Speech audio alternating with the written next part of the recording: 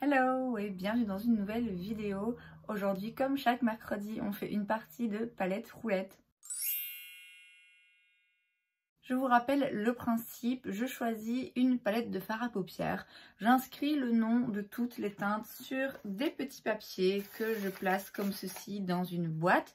Je vais en tirer au sort entre 4 et 6, je pense qu'aujourd'hui on va dire 5 comme c'est souvent le cas. Et avec ces teintes que je tire au sort, eh bien je dois réussir à créer un look qui soit un minimum cohérent et joli. Aujourd'hui j'ai choisi la palette Born to Run de chez Urban Decay parce que c'est une palette que j'ai pas utilisée depuis très très très longtemps. Euh, c'est une palette dans laquelle il y a quand même pas mal de couleurs. Donc il y a 21 fards. Et c'est quand même des coloris, même si ça reste dans les mêmes intensités et que c'est rien d'hyper flash ou fluo ou quoi, il y a quand même quelques couleurs un petit peu punchy dedans. C'est vraiment le genre de palette où ça peut passer de tout à rien très vite. Donc je peux facilement tomber sur des teintes qui vont très bien se marier ensemble, donner un look très neutre, facile à porter au quotidien. Je peux aussi, comme c'est toujours le cas avec un jeu de hasard, avoir un petit peu moins de chance euh, et tomber sur des teintes un petit peu euh, plus différentes qui vont pas forcément se mêler et se travailler aussi bien ensemble. Après, c'est aussi ça euh, le challenge et, c'est ça qui rend ces vidéos, pour moi en tout cas, très fun à tourner parce que bah parfois je suis dans une situation où je dois vraiment faire preuve de créativité et je trouve ça toujours intéressant. Donc, j'ai inscrit le nom des 21 teintes sur des petits papiers ici. Je vais en tirer au sort. Donc, on va se dire 5, c'est souvent le nombre de teintes que je tire. La première que je prends, c'est la couleur Big Sky. Il s'agit de ce bleu juste ici. C'est donc une teinte métallique. C'est pas un métallique hyper intense. Hein. Aucun des métalliques ici n'est très intense. C'est vraiment des, métalliques plutôt faciles à porter au quotidien.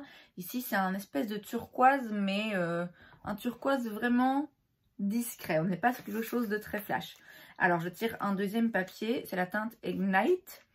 Et c'est donc ce cuivre, je dirais. Vous voyez, couleur cuivre. Euh, de nouveau, un, métallique. Pas forcément hyper bien ensemble. Après, bon, deux teintes, pour le moment, c'est quand même possible de les travailler. On tire un troisième papier, c'est Good as Gone. Ah, là, pour le coup, ça va déjà être un petit peu plus facile puisqu'il s'agit de ce fard brun. Il n'est pas à 100% mat, il est très très très très très légèrement satiné, mais disons que ça pourra me servir euh, de base on tire un troisième papier, un quatrième papier, pardon. C'est la teinte Radio.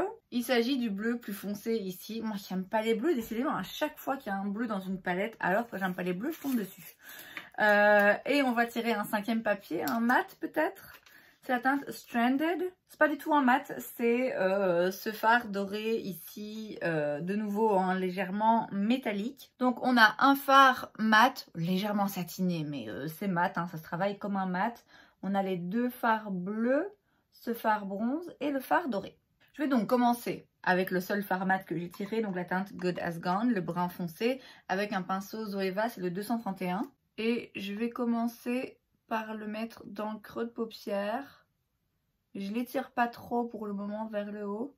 Donc je reste vraiment dans le creux de paupière et ici vers le coin externe. Et ensuite je commence à étirer tout doucement.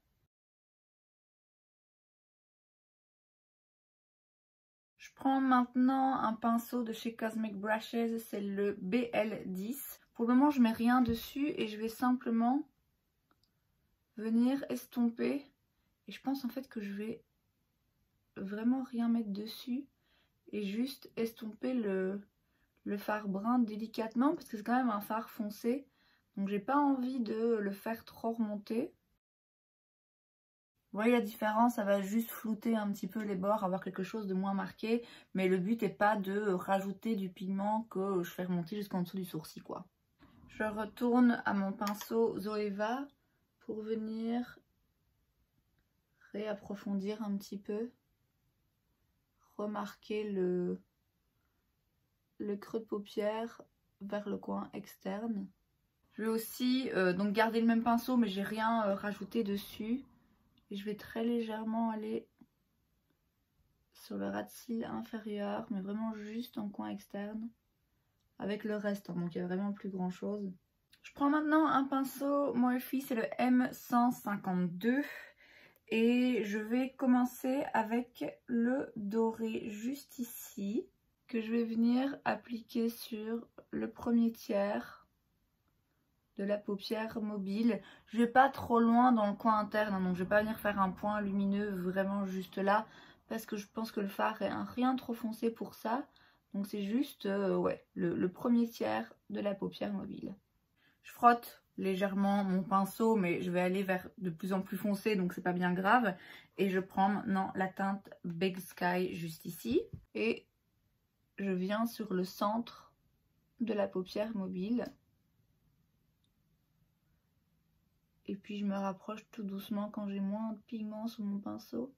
Je me rapproche du côté doré pour que les deux se mélangent. Je frotte mon pinceau et vous vous en doutez, je vais maintenant dans la teinte Radio, qui est donc l'autre bleu un petit peu plus foncé.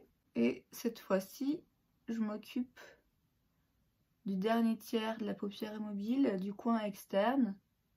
Et puis je fais pareil, hein, je reviens vers, euh, vers le bleu plus clair pour bien tout mélanger.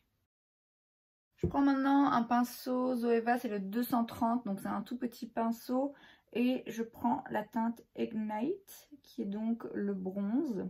Et là, je viens en mettre au ras de cils inférieur, en commençant au milieu, pour que vraiment le, plus de, de couleur et de luminosité se retrouve au milieu de l'œil.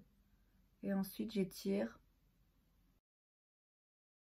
Je vais aller mettre du crayon et du mascara, je reviens juste après. Voilà donc le résultat. Euh, Résultat, je dirais satisfaisant parce que bon, c'est pas un look qui part dans tous les sens.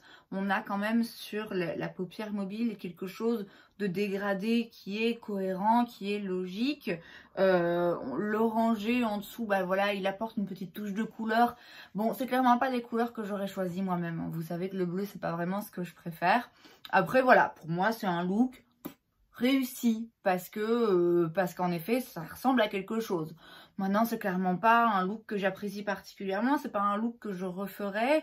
Euh, alors de base le fait d'avoir un fard brun dans le creux de paupière et puis d'avoir euh, dans des métalliques un espèce de dégradé comme ça plusieurs couleurs qu'on mélange ça me va très bien. Mais voilà c'est juste le choix des couleurs euh, et, l'intensité aussi des métalliques, c'est vrai qu'ils sont un petit peu plats. Alors je reconnais que ça a un avantage pour beaucoup de personnes qui veulent des, des fards qui reflètent la lumière, qui soient jolis, mais qui restent flatteurs et qui soient pas non plus trop intenses.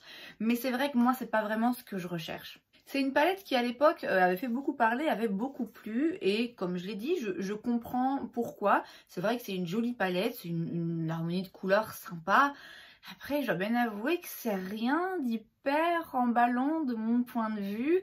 Et au plus je la regarde et au plus je vois ce qui est possible de faire avec cette palette, au plus je me dis que je pense que je vais finir par la retirer de ma collection. Euh, je la garde un petit peu plus par principe. Euh, c'est le cas des autres palettes que j'ai de chez Urban Decay, les Naked. Là, c'est plus par, euh, par attachement symbolique parce que c'est des palettes un petit peu iconiques de la marque.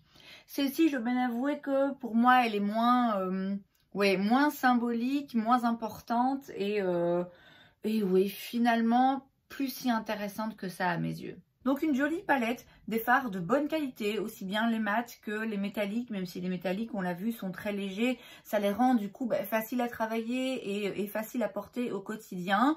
Euh, donc une palette réussie, simplement plus une palette qui, moi, m'enthousiasme particulièrement. Euh, et puis pour le look d'aujourd'hui, un look réussi, je pourrais sortir comme ça euh, sans avoir peur qu'on me prenne pour, pour un clown. Mais voilà, pas non, plus, pas non plus un look que je trouve particulièrement joli. Et c'est donc tout pour cette vidéo, j'espère que ça vous a plu. Si c'est le cas, n'hésitez pas à laisser un like. Vous pouvez aussi vous abonner à ma chaîne parce que c'est gratuit, donc pourquoi pas. Et moi, je vous vois la prochaine fois. Bye